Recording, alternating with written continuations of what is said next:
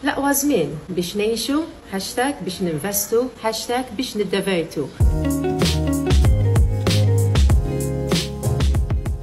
L-aqwa żmien ta' Emanuel Mifsud u ppubblikat minn Klabb Kotba Maltin. Dan il-ktieb għandu sitt stejjer qosra, ħamsa minnhom ambjentati f'Malta u kollha jitkellmu dwar realtà soċjali li qed ngħixu fiha bħalissa. Hemm stejjer dwar faqar, nies li jgħixu f'garaxxijiet, misoġinija, razziżmu, sessiżmu, il-karattri kollha b'xi mod jew ieħor nibdew nindunaw id-diqa kbira li għandhom u forsi nibdew nempatizzaw magħhom ukoll. Għall-inqas dak naħseb li kienet il-mira tal-awtur jew forsi ma kienet xejn minn dan kollu u riedna biss ingawdu dawn l-istejjer u nagħmlu bihom dak li rridu. Dal-filmat huwa parti minn serje mtella minn Love in Malta u Kunsill Nazzjonali tal-Ktieb li fiha tinlaqgħu il-pubbliku ma' kotba importanti tal-letteratura Maltija. Hemm ħafna x'tiskopri hemm barra.